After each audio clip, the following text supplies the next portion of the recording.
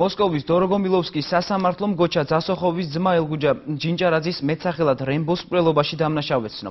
39 წლის რიჩარდ ძასოხოვს სასამართლოს გადაწყვეტილებით 9 წლით და 5 თვით თავისუფლების აღკვეთა მიესაჯა.